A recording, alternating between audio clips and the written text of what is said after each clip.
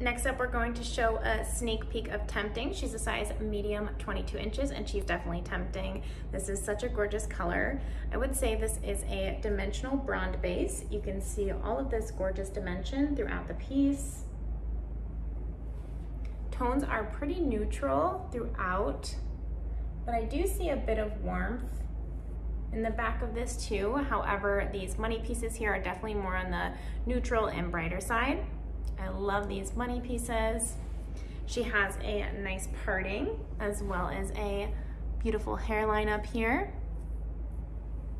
She's going to fit true to size, fits me really nice as a medium, 22.2 inches is my circumference and she fits me well. She does have some slight layering too, so some of these cute face framing pieces and longer layers throughout.